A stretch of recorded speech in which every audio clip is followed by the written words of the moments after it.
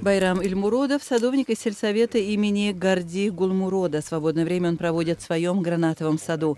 Красные гранаты в его саду поспели. Их надо собрать вовремя и подготовить к продаже. Мы их очищаем, чтобы урожай был хорошим и без червей. В этом году гранаты дали хороший урожай. Намного лучше, чем в прошлом году. Теперь надо начать сбор.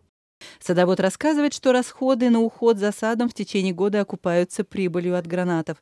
Килограмм гранатов продается от 5 до 10 сомони, это примерно 4-9 долларов. Но садовники не спешат продавать новый урожай.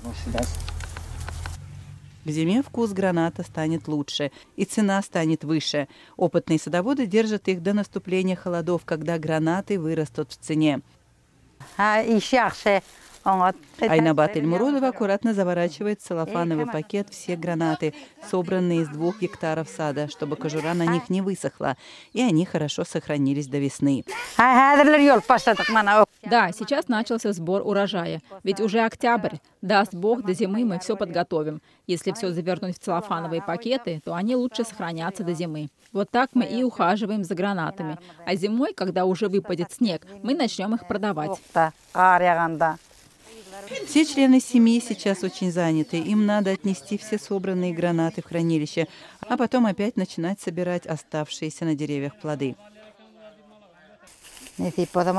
Мы все работаем вместе, с невесткой и дочерями, иначе одной не управиться. Это моя дочь, и там еще одна дочь, а там дальше невестка и соседка. Все пришли помогать. Даст Бог, в течение октября соберем весь урожай. Все успеем сделать вовремя.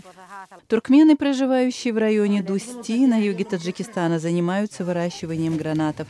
Они обеспечивают как внутренний рынок, так и вывозят его на продажу за рубеж. Наш сельсовет является крупнейшим производителем гранатов в республике, и их выращиванием занимаются туркмены. Большинство местных туркменов занимаются этим делом, потому что оно прибыльно. Это позволяет им хорошо жить.